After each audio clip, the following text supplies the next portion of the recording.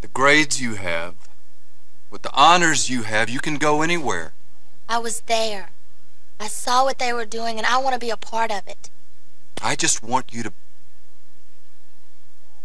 be the greatest.